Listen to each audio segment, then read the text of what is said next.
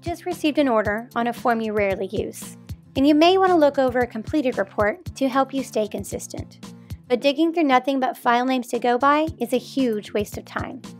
Instead, use the Vault to download previous reports with the same major form that will be helpful.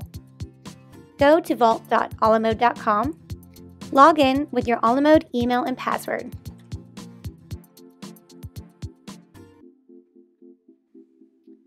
Select the Major Form tab to sort by that category. Select the report you'd like to download. Click Retrieve. Click Selected Files. And your report is going to be stored in TOTAL's Vault Restore folder.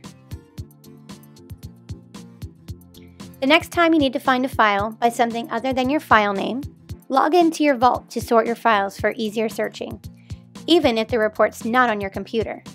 And if you don't have the Vault, give us a call at 1 800 Alamode or go to www.alamode.com forward slash appraiser forward slash vault to purchase the vault.